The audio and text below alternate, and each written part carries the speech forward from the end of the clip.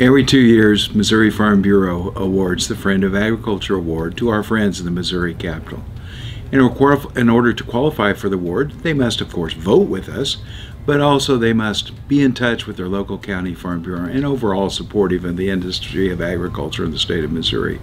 Uh, we're giving over 60 awards this year to people who are friends to Missouri Farm Bureau, friends to Missouri agriculture, and we thank them for their service.